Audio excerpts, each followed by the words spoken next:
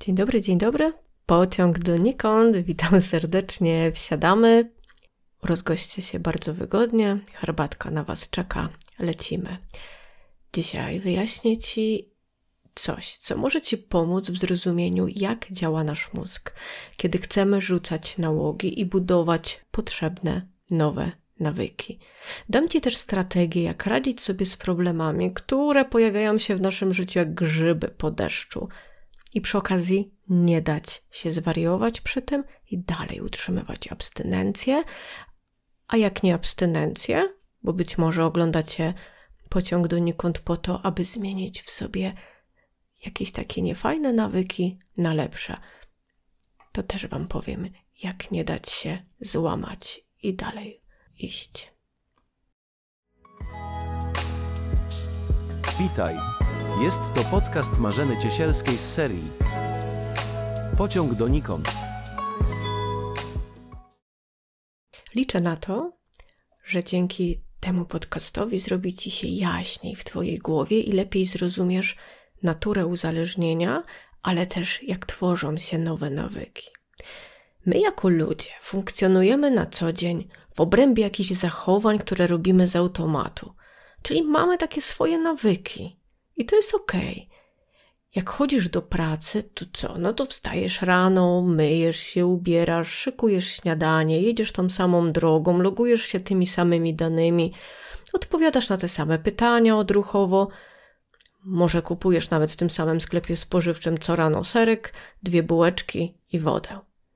To są Twoje nawyki. I tak funkcjonujemy z zamkniętymi oczami, jak w dniu świstaka. Codziennie zawijamy to samo w sreberka. Rutyna. I to jest w porządku. Lecimy po schemacie, czyli kiedy lecimy po schemacie, to odpalasz znany szlak neuronalny i bez namysłu działasz. I my w naszej głowie mamy właśnie taką infrastrukturę autostrad, ścieżek, dróg, malutkich dróżek, wielkich, szybkich dróg ekspresowych. I tym większa droga, która staje się autostradą, jeżeli często ją używasz. I wtedy jedziesz po niej automatycznie z zamkniętymi oczami, i to jest Twój szlak neuronalny, po którym często się poruszasz. I to są te nawyki. Mogą być też nałogi, czyli już bardziej skomplikowana ilość różnych szlaków, które się przecinają, i żeby poradzić sobie z nawykiem, no to wtedy nie usuwasz tylko jednej ścieżki, ale jest jeszcze tam kilka innych różnych dróżek, ścieżynek, które też musisz przestać używać. Najpierw zrozumieć, czy wszystkie drogi prowadzą do Rzymu, czy tylko te niektóre prowadzą cię do nałogu i przestać je używać. Czyli widzisz, jaka jest różnica między nawykiem a nałogiem. Nałóg jest to taki zespół różnych dróg i autostrad, a, a nawyk to jest jedna dróżka. I teraz, kiedy odstawiasz nałóg, to budujesz pojedynczo nowe, zdrowe nawyki, aż w końcu one też stworzą taką fajną siatkę autostrady.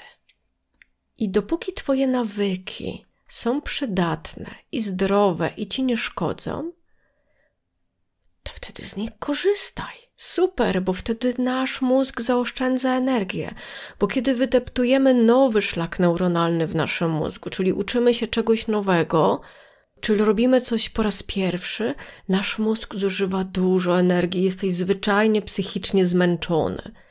Więc kiedy nawyki są superanckie, czyli te zdrowe, pożyteczne i potrzebne, to jest rewelacja, bo nie marnuje Twój mózg energii na uczenie się, tych samych czynności ponownie. Wspaniała jest nasza natura, brawo dla niej, ponieważ dzięki niej i właśnie tej naszej umiejętności, że w naszym mózgu tworzą się automaty, po pierwsze oszczędzamy sobie energię, a pewnie dzięki temu też między innymi przetrwaliśmy jako gatunek na Ziemi.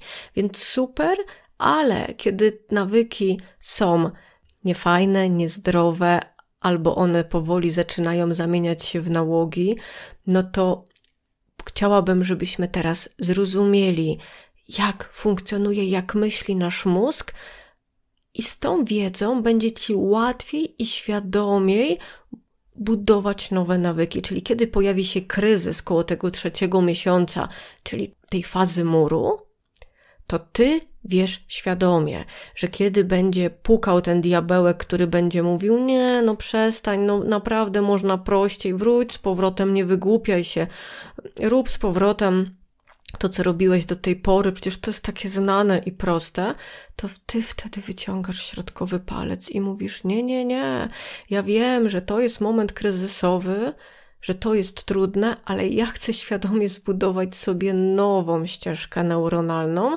i wiem, jak to zrobić, i ten moment kryzysu nie złamie mnie, nie spowoduje, że nie dam rady, albo nawet jeśli nie dam rady, to wiem, co się wydarzyło, wiem, co się zadziało, dlaczego było mi akurat teraz trudno i ruszam dalej. Podnoszę się z kolanek, poprawiam koronę i lecimy dalej. Więc mamy sporo nawyków, które nie są praktyczne, albo mogą być nawet takie niepokojące. Na przykład, zobacz, są osoby, i być może też tak masz, że reagujesz na przykład złością, kiedy musisz zrobić coś, czego jeszcze nie robiłeś, czyli nie znasz tego, czyli twój mózg musi się wytężyć, wydatkować energię, a to się nie podoba tej starej części mózgu, która odpowiada za automaty, i wypracowałeś sobie taki nowy nawyk pod tytułem Będę się wkurzał, będę oporował, nie będę tego robił. Nie znam, nie będę tego robił. Albo możesz reagować na przykład wycofaniem, czyli nie złością, ale się wycofujesz na nowe sytuacje. Czyli z góry zakładasz, że ta sytuacja będzie dla ciebie stresująca, będzie niewygodna, albo po prostu wmawiasz sobie, że nie dasz rady, albo masz gotowy zestaw odpowiedzi pod tytułem: To jest głupie, nie będę tego robił, albo jutro się za to wezmę. W domyśle nigdy. Możesz też mieć dobre nawyki i wykorzystywać je przeciwko sobie i doprowadzać do tak zwanych zachowań kompulsywnych, można nawet powiedzieć o zachowaniach obsesyjno-kompulsywnych. Czyli co to jest? Czyli na przykład kilka razy dziennie sprzątasz. Przecież sprzątanie ogólnie jest potrzebne, ale kiedy zaczynasz używać sprzątania, kiedy odczuwasz niepokój, kiedy masz problemy na swojej głowie i zamiast spojrzeć prawdzie w oczy, ty dwa razy w tygodniu robisz generalne sprzątanie żeby się czymś zająć, ale nie tym, co się dzieje aktualnie. I wtedy wyrabiasz sobie nawyk uciekania od swoich uczuć, myśli i problemów. Sprzątanie to jest jeden jakby z kilku takich form ucieczkowych. I stąd się właśnie biorą zaburzenia kompulsywno-obsesyjne, czyli na przykład coś się z tobą dzieje, czujesz, że tam coś nie gra w twoich emocjach, ale nie możesz poradzić sobie z nimi, to na przykład wpadasz w takie rytuały. Czyli na przykład 10 razy dziennie myjesz ręce, albo dwa razy dziennie myjesz podłogę w domu, albo objadasz się za każdym razem, gdy poczujesz lęk, niepokój, smutek, albo jeszcze inne emocje, których nie umiesz rozpoznać. Albo masz taką tendencję do chomikowania, bo może się przyda, nie będę nic wyrzucać. I to też może być taka iluzja poczucia bezpieczeństwa, gromadzenia i robienia zapasów na wszelki wypadek. Albo możesz mieć nawyk, codziennie wypiję sobie dwie lampki wina. Albo idę na zakupy za każdym razem, kiedy potrzebuję poprawić sobie humor. I za każdym razem którą czynność wymieniłam przed chwilą, za każdym razem tam chodzi o emocje. W życiu dorosłym, e, jak nie wiadomo o co chodzi, to chodzi o pieniądze. Natomiast w naszym emocjonalnym życiu, jak nie wiadomo o co chodzi, to chodzi o emocje. Emocje odczuwamy. Każdy z nas je czuje. Mamy je, posiadamy, nawet jeżeli je wypierasz, one są niewygodne, nie chcesz na nie patrzeć, nie chcesz ich czuć, to i takie masz. To jest tak, jakbyś powiedział: Nie chcę mieć serca, bo bo ono za szybko bije, kiedy się denerwuje. No i co z tego, że nie chcesz mieć, ale je masz, bo żyjesz. I emocje też masz, bo żyjesz. I teraz chcę Ci pokazać właśnie to, co obiecałam Ci na samym początku podcastu. Dam Ci pewną umiejętność i strategię, jak sobie radzić i ogarniać te, czasami myślimy o nich, te cholerne emocje, ale one są fajne. Jak je poznacie lepiej i się z nimi zakumplujecie i oswoicie je, i trochę tak weźmiecie je pod ramię i uznacie, no dobra, dobra, może jesteście takie niefajne, futrzane potworki, no ale je mam, więc muszę się nimi zaopiekować i oswoić. I ja Wam tutaj dam taką radę, co zrobić, jak sobie z nimi radzić. Za każdym razem, kiedy czujesz, że coś tam się dzieje w środku, że coś cię uwiera, że coś jest nie tak, ale nie potrafisz tego nazwać, nie wiesz, co to są za emocje, o co tobie chodzi, to możesz zabawić się w rybaka. I to jest taka umiejętność, którą możecie ćwiczyć i trenować i doprowadzić do tego, że powstanie fajna nowa autostrada w waszym mózgu i stanie się to nawykiem. Ale nawykiem stanie się to wtedy, kiedy, jak dzisiaj to ode mnie usłyszycie, to zaczniecie to stosować, bo samo usłyszenie i aha, aha, dobrze, rozumiem, nie spowoduje, że powstanie w waszym mózgu autostrada. Wy to, co słyszycie, potrzebujecie zacząć trenować kilkanaście razy, aby stało się to dla was oczywiste. I na początku może wcale Wam się nie chcieć, może wcale nie wydawać się to łatwe i proste. Może to powodować, że będziecie zmęczeni i strani, ale to tylko dlatego będziecie odczuwali zmęczenie, bo co się dzieje? W waszym mózgu powstaje ścieżka, nowa ścieżka neuronalna, i jak zaczniecie chodzić po niej, deptać, to stanie się takim waszym dobrym nawykiem. Więc potrzebujemy wytrenować nawyk rzucania wędki. Jesteśmy wędkarzami. Czyli masz wędkę i zarzucasz ją świadomie w swój staw, w którym pływają emocje, myśli i sytuacje z Twojego dnia. I to, co wyłowisz z tego stawu, to jest właśnie to, co łazi po Tobie. I czujesz to że coś odczuwasz, że coś ci się nie podoba, albo może i ci się podoba, bo to mogą być też i te przyjemniejsze emocje. Możesz odczuwać, że coś cię uwiera, że wracasz myślami do jakiejś sytuacji, wkurzasz się, boisz się, być może masz jakiś niepokój w sobie. Więc wyławiamy to, wyławiamy to tą wędką rybaka.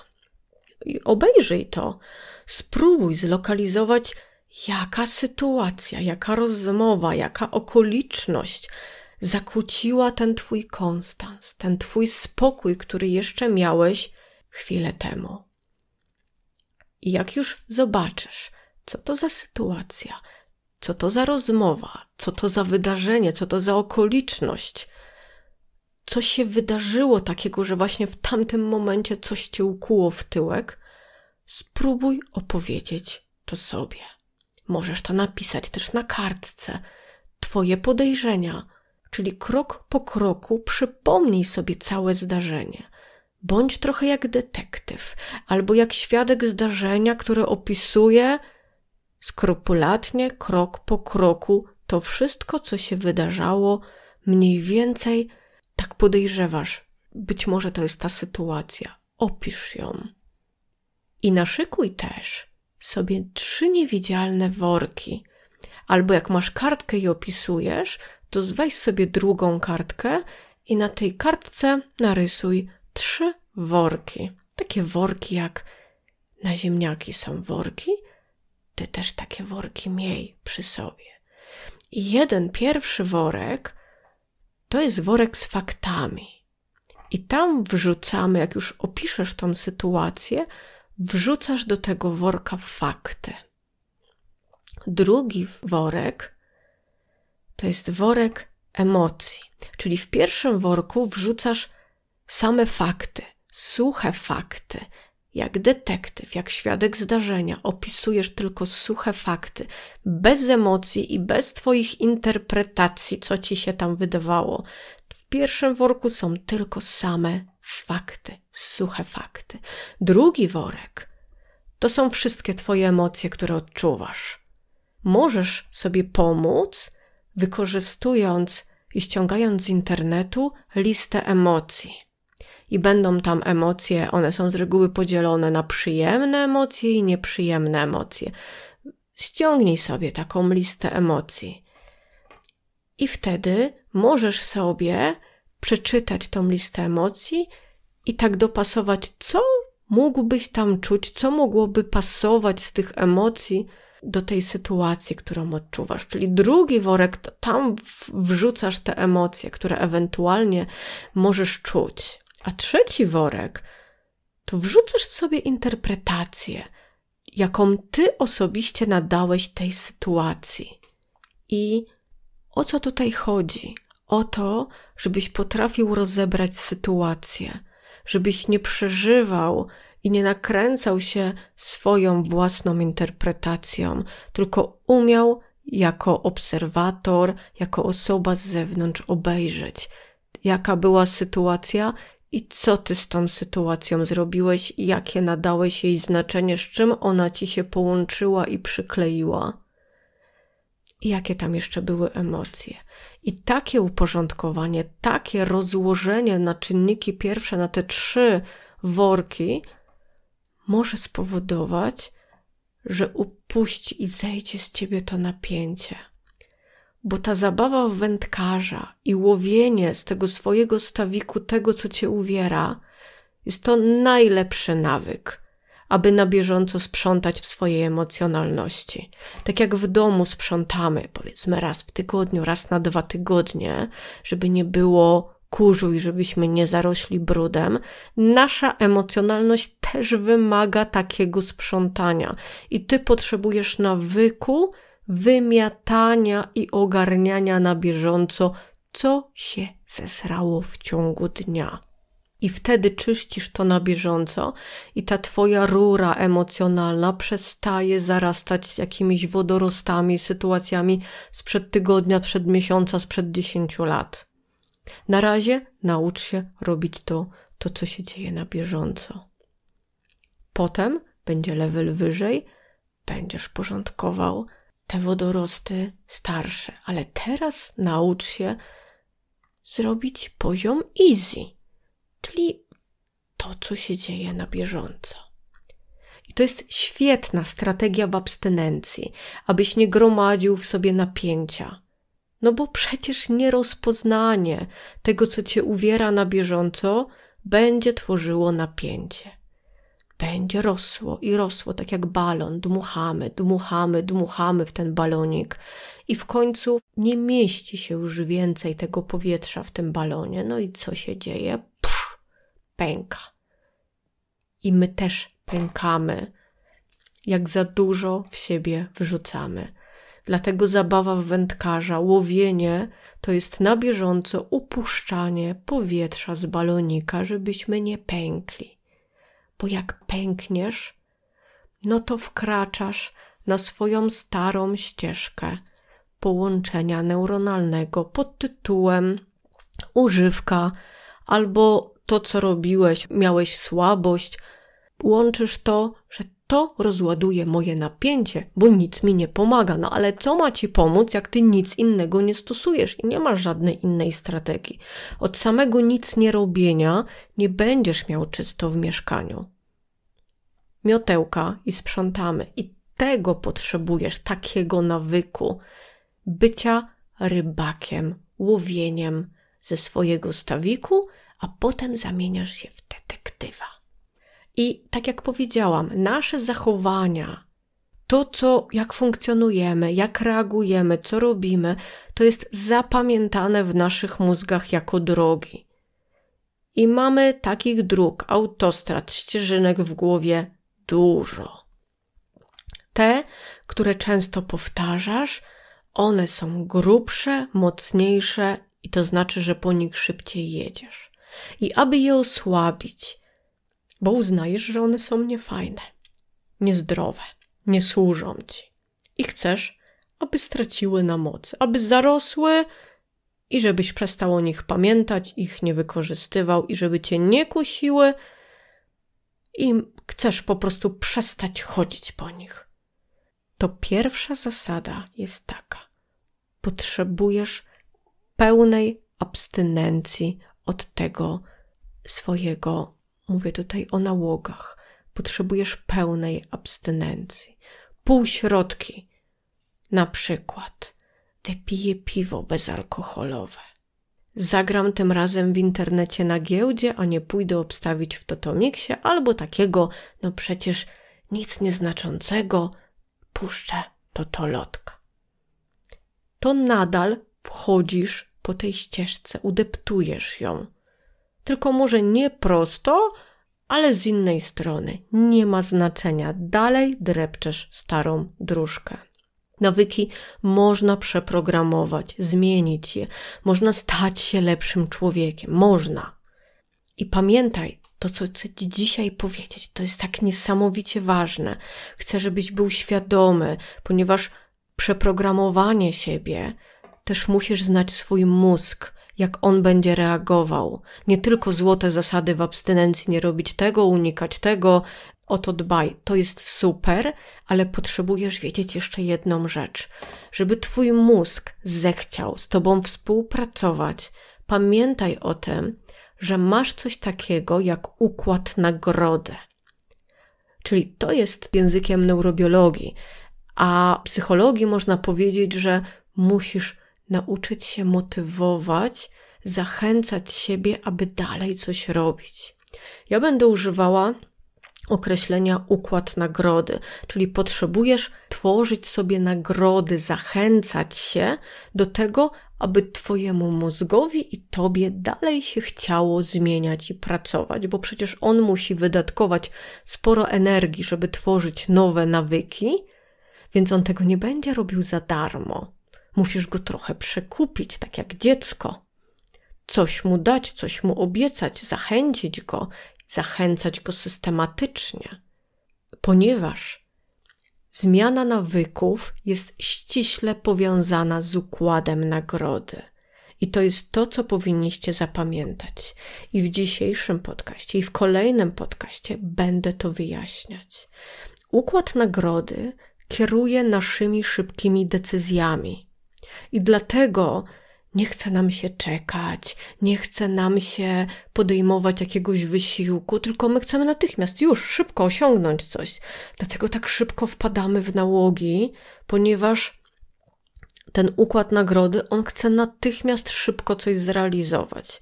No i wtedy jest łatwo sięgnąć po coś, co robiliśmy do tej pory i rachciach i mamy chwilową przyjemność. I pamiętaj też to, że układ nagrody kieruje tymi szybkimi decyzjami, więc kiedy wprawiasz zachowanie w ruch, trudno jest je powstrzymać. Czyli kiedy pijesz, mówisz sobie tak, a to może się napije dwa piwa, to pamiętaj, że już wprowadzasz ten układ nagrody w ruch i jest niewielkie prawdopodobieństwo albo losowo może ci się udać, nie masz na to wpływu, że rzeczywiście zatrzymasz się na tym, co sobie obiecałeś. Ponieważ jak już wprawisz to w ruch, wpadniesz na tą starą ścieżkę połączenia neuronalnego, to ona cię już popchnie. Tam po prostu lecisz. Czyli na przykład grasz hazardowo, masz słabość do grania na giełdzie i powiesz sobie, dobra, to ja teraz pójdę, zagram w to Mixa albo niewinnego totolotka puszczę. No nie, bo znowu wpadasz w to. Albo powiesz sobie, no dobra, to ja zagram tylko za 100 złotych. Hmm. Rzadko się zdarza, że zagrasz za 100 złotych, umawiasz się na tyle i wychodzisz. Hazard polega na tym, że grasz, dopóki masz jeszcze za co. I to samo jest z każdą używką. Pamiętaj, nie igraj z układem nagrody, po prostu pełna abstynencja. I w układzie nagrody jest też taki element, o którym będę mówiła w kolejnym podcaście, ale dzisiaj Ci tylko tak wspomnę. Są takie średnie neurony kolczaste, które składają się na to właśnie, jak zbudowany jest ten układ nagrody.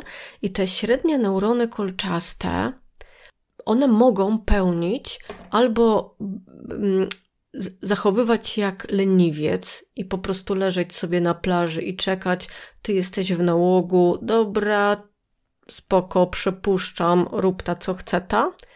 Albo te średnie neurony kolczaste, właśnie jeżeli dobrze współgrają z tym układem nagrody, to one są Twoim ochroniarzem.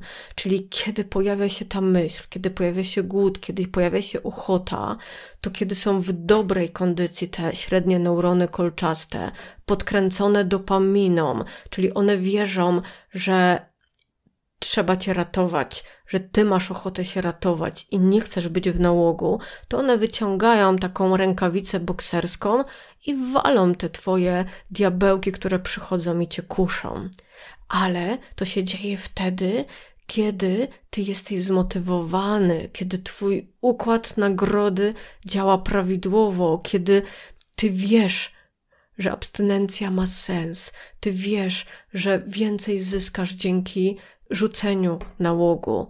Czyli wiesz, jesteś tak podkarmiony, tak zmotywowany, tak ta dopamina działa, że te neurony kolczaste, one zamiast leżeć na plaży yy, i spać, kiedy właśnie wkracza yy, stary, stary nałóg, one po prostu wstają i walczą i są takim twoim ochroniarzem. Więc musimy dogadać się i doprowadzić do czegoś takiego, żebyś ty widział namacalnie, że twoja abstynencja ma sens. I to, co ja obserwuję i to, co tłumaczę swoim pacjentom, klientom w gabinecie, to mówię właśnie im coś takiego, że jak poczujesz, jak ci zaklika, że większym większą korzyść masz ze swojej abstynencji, że zaczniesz odczuwać namacalnie radość, przyjemność, szczęście, że będzie ci łatwiej żyć bez sięgania po nauk, kiedy zobaczysz naocznie, że bardziej sobie komplikujesz życie, niż tak naprawdę zmniejszasz to napięcie, które masz w sobie sięgając po używkę, to jesteś na wygranej pozycji i wtedy nie ma bata, nie ma sytuacji, nie ma okoliczności, które cię złamią i że sięgniesz z powrotem do swojego nałogu, ale musi być ten układ nagrody dokarmiony. Jest to tak ważna część w wychodzeniu z nałogu, że ja będę do niej wracać i będę ci o niej częściej opowiadać. Dzisiaj, bo nie chcę jakby obciążać Twojego mózgu, chcę, żebyś zapamiętał, że układ nagrody to jest szukanie motywacji, widzenie namacalnie, że Twoja abstynencja i Twoja zmiana ma sens, nawet kiedy jest ciężko, kiedy jest trudniej, i że jednym z elementów są te średnie neurony kolczaste, które muszą, jak taki rycerz, taki kulturysta, taki bokser yy, w dobrej formie, boksować się z Twoimi myślami i będzie Cię chronił żebyśmy nie doprowadzali do tego, że te neurony średnie kolczaste będą sobie tam leżeć i spać na plaży. Nie, nie, nie. Musi to wszystko działać. Więc to zapamiętaj, a w kolejnym podcaście jeszcze dołożę kilka elementów, z jakich zbudowany jest ten układ nagrody. Nie za dużo. Na razie niech nam się to powoli, powoli układa. Czyli wiesz już to, że rzucając nauk, tam jest dużo tych różnych takich ścieżek i że musisz przestać po nich chodzić. A jak przestać po nich chodzić? Koncentrując się i poświęcając czas nie na marudzenie, na banie się, na przeżywanie, na czarnowictwo, tylko na koncentrujesz się i zaczynasz zwiększać pozytywne nawyki i jednocześnie utrzymujesz abstynencję, żeby nie wzmacniać tego starego, szkodliwego nawyku, bo nie da się jednocześnie budować nowych nawyków i łazić po tym starym. Pamiętaj, że złe nawyki nie są wbudowane na stałe do Twojego mózgu. Są zaprogramowane, ale można je odprogramować, usunąć, wywalić, przestać używać. Chyba, że będziesz powtarzał je bez przerwy. No to wtedy nie ma szans. No to będziesz je dalej wzmacniał. Ale wystarczy powtarzać nowe nawyki, powtarzać, powtarzać, ćwiczyć nowe zachowania i w końcu zaklika i stanie się to nowym nawykiem. I pewnego dnia, to co często słyszę w gabinecie, to jest tak: Ojejku, jakie to proste, jakbym wiedział, wiedziała, że to jest takie proste, czemu ja na to wcześniej nie wpadłem?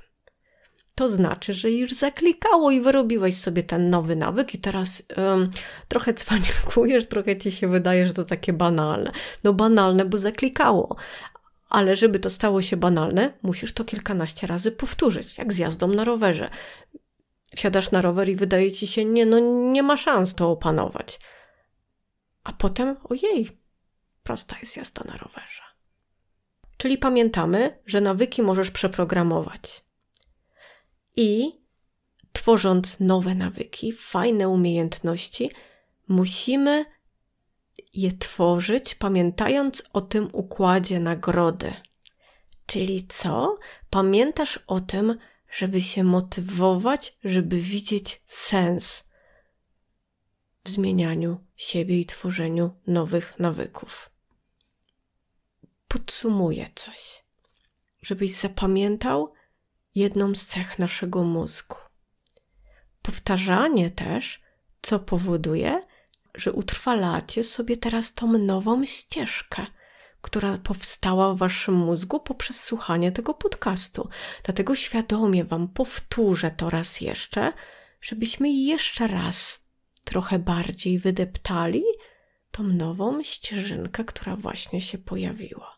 Bądź już to zasłyszeliście wcześniej, to jeszcze ją utrwalimy i wzmocnimy. Czyli Twój mózg potrzebuje nawyków. Po co? Po co tworzy nawyki? Aby nie tracić energii na uczenie się, aby nie uczyć się tej samej czynności od początku, ponieważ nie ma sensu, żeby tracić energię na takie rzeczy. Jest to super przydatna umiejętność, która powstała w drodze ewolucji. Brawo dla mózgu. Kiedy uczysz się nowej rzeczy, idziesz do nowej pracy, to przecież tam wszystko jest nowe. Nowi ludzie, nowe obowiązki i wracasz po takim dniu zmęczony, jakbyś wykonał dziesięć prac Herkulesa. Po miesiącu, kiedy te wiele czynności stanie się już przewidywalnych, a twój mózg zrobi z tego nawyk, będziesz już się mniej męczył. Dlatego nawyki są super. Ale jeśli są przydatne, to są super. Ale ta część mózgu, która odpowiedzialna jest za przechowywanie nawyków, nie potrafi ocenić, czy każdy nawyk, który posiadasz, jest właściwy i zdrowy. Ona jest trochę przygłupia, ta część mózgu, i uznaje, że skoro to stało się tak oczywiste dla ciebie i zrobił się z tego nawyk, to znaczy, że to jest dobre. Po prostu nie ocenia, nie wnika, nie ma tej umiejętności. Czyli trochę jak odkurzacz, wciąga wszystko po drodze, więc my musimy też uważnie zastanawiać się, co robimy, jak się zachowujemy, żeby jakaś niedbała czynność nie stała się za chwilę naszym przekleństwem. No bo zmiana wyuczonego nawyku nie jest łatwa, ponieważ mózg nie lubi zmian, jest leniuszkiem. I nowe zachowania wymagają wysiłku, zużycia dużej ilości energii, plus jeszcze powtarzania, powtarzania, powtarzania, aby powstał nowy nawyk i nowa autostrada. Więc twój mózg i ciało będą alarmować cię poprzez stres, poprzez myśli, poprzez obniżony nastrój, abyś nic nie zmieniał, skoro robisz to od tylu lat. To jest bezpieczne, zostań przy tym.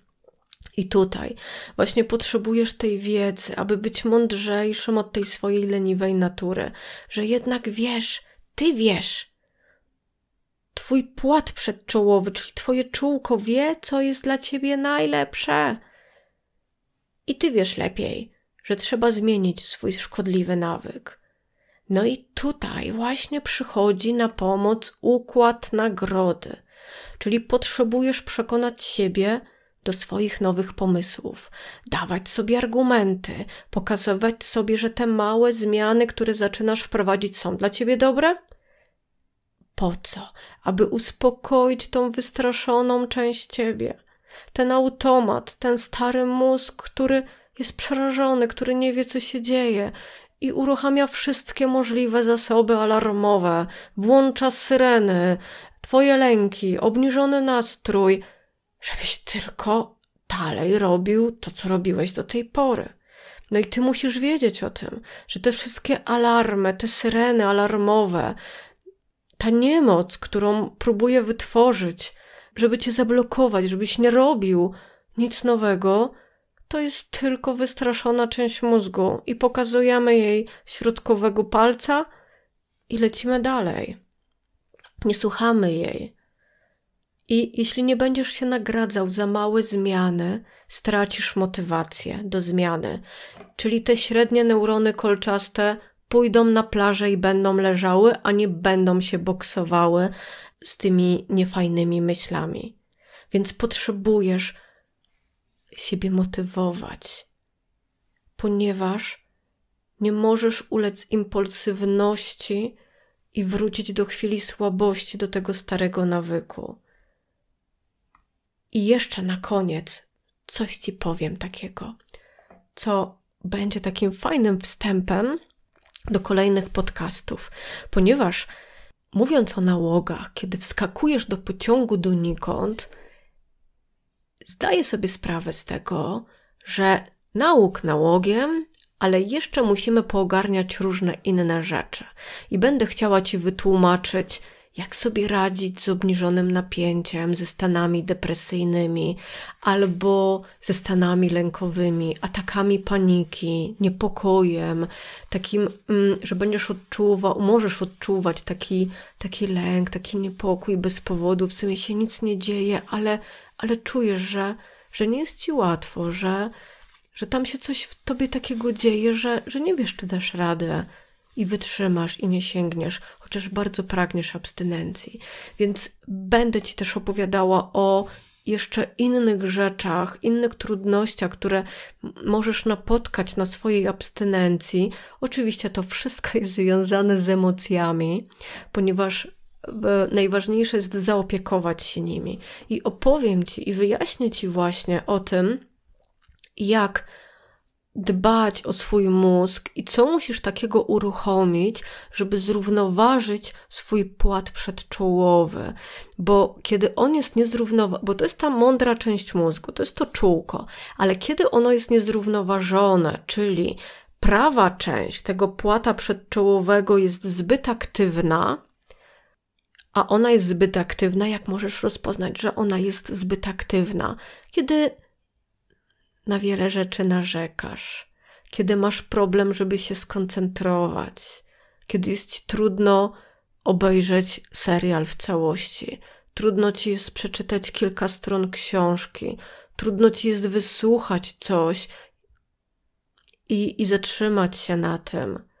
Kiedy masz takie poczucie, że cały czas dostrzegasz jakieś problemy, że w Twoim życiu jest cały czas jakiś kłopot, jakiś problem, no to to znaczy, że twoja kora przedczołowa, prawa część jest nadaktywna, a my musimy ją zrównoważyć, czyli doprowadzić do tego, żeby lewa dobrze hulała, bo kiedy lewa kora przedczołowa będziesz ją wzmacniać, to wtedy będziesz potrafił odczuwać radość, przyjemność. Wtedy nie będziesz popadał w obniżony nastrój, stany lękowe, będziesz bardziej uważny, bardziej skoncentrowany, będzie ci się bardziej chciało, i właśnie ten układ nagrody też będzie miał szansę e, wystrzelić, nakarmić się, będziesz bardziej zmotywowany. Więc pracując nad tym układem nagrody, musimy też świadomie wzmacniać lewą korę przedczołową, czyli żebyś widział, widziała te bardziej fajniejsze, pozytywne i przyjemne rzeczy. I teraz powiem Ci, co zrobić, żeby świadomie pracować i wzmacniać tą lewą korę przedczołową, pomimo że ta prawa tak Ci ciąży, że gdyby ona więcej ważyła, to chodziłbyś tak z głową przekręconą na prawą stronę co zrobić, więc dam ci pracę domową.